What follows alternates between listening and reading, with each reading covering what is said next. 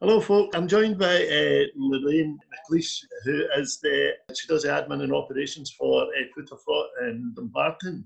Uh, hello, Lorraine. Hi. How are you doing? Uh, Tricia Lorimer uh, also run the food share in the White Church in Faifley. Uh, hello, Tricia. Hi. Hi, Charlie. How are you? Listen, Tricia, can I ask you, you know, just to briefly outline what you do up there and how you are coping with the demand through the crisis, through the restrictions and all sorts. We started in January um, providing emergency food parcels to mostly the Faifley residents, but it's open to wider areas, so anyone can come up and it's non-referral. We used to be just a Tuesday morning, but due to the pandemic, there's more people and more demand. So just now we're open Monday, Tuesday, Thursday, Friday, delivering food parcels to households as well that are isolating. We give out pre-made meals that are provided by another charity called Well Fed Scotland. Um, and previously we were giving out packed lunches that were donated by West Dunbartonshire Council. But now they've rolled out the voucher scheme, so they're not doing the packed lunches anymore. So we're just doing the parcels and the pre-made meals. Listen, Lorraine, tell us briefly outline what Food, Food for Thought do. You know, tell us how you've been continuing to give support throughout this crisis. So we are an emergency food aid food bank. The emergency crisis has obviously put demand up quite a bit. Um, what we done when lockdown came in was decided that we needed response drivers. So we put a shout out on Facebook um, asking the community who maybe weren't working furloughed, uh, who were willing to help us. Um, we got an amazing response and ended up with over 50 names of drivers who were willing to help. So what we did was we went to delivery only. Operations as normal in here, obviously a bit busier, making emergency food aid parcels up. Drivers were coming in, picking up the bags and then taking them to the referrals that we had to the people that need. So we've continued to do that. It's demand hasn't really went down any. We're kind of there is a kind of up and down throughout the week. We'll maybe have one I say quiet day. It's not really quiet, no compared to what we were before the pandemic. Delivering to between 50 and 100 people a day. Sometimes it can be 100, sometimes it can be 80, sometimes it can be 50. It varies. Normally, before lockdown, we had a community lunch in place where on a Wednesday and Thursday we would make a hot meal and anybody was welcome in to get a hot meal um, and enjoy the kind of social side of it. A lot of regulars loved this more for the social side of it. This is people that maybe don't really leave their house or have got that kind of so wee bit of social anxiety. So it was yep. kind of helping them people who had food insecurity, food poverty and insecurity issues, um, getting them a hot meal once or twice a week. So these regulars that come in every week um, we've been trying to keep as much contact as we can, just phoning the ones that we've got their numbers, phoning them regularly, just making sure if they've not been in contact to us or not been referred to us, making sure that we're getting food out to them, delivering to them every week, um, and just phoning them as much as we can. Um, the elderly members, service users that we've got as well, that obviously maybe are in shielding, contacting them regularly, making sure they're all okay. Previously, we let people come in the building and we would have a wee tea or coffee with them and have a wee chat, and it was more like a social setting as well. But at the moment, everyone social distance lines up, and we serve them from the front door, and they just ask any additional things that they're needing in their parcels, like you'll get people asking for toiletries and because the recycle room previously was in the White Church as well, we also have people asking for clothing. So we'll go through and we'll grab some clothing for them as well at the same time. And we've got period poverty up there as well, so we provide all the sanitary wear to anyone that's needed them as well.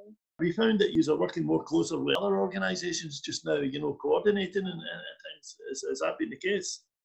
Yeah, um, we have good contacts with the schools and Faifley especially with the nurseries and the schools. We were asking them if there was any kids that are families that they think would need some meals or parcels and the nursery was coming down and picking up quite a lot of the parcels for the families in need because they were doing drop-in checks on the families um, and um, we worked with the West Dunbartonshire Council and all the overspill of packed lunches that hadn't been picked up from the schools and to reduce the food waste they were distributing them to organisations so the council's been quite good that way. That they've they've managed to cut down in the, the food waste and help families in need at the same time. Would you hope to continue these relationships after the emergency is over? Yeah, yeah, we work quite closely with the council as well. Um, normally, they update us on anything that's happening in the area, and we've got an, an input on what's going to happen in our area every time anyway.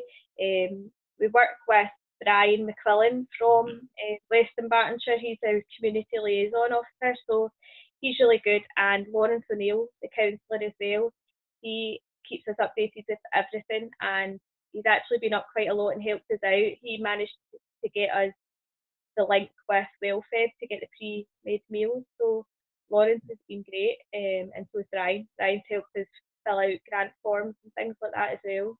We are working in partnership with West Dunbartonshire Council, the crisis team. We get referrals from them.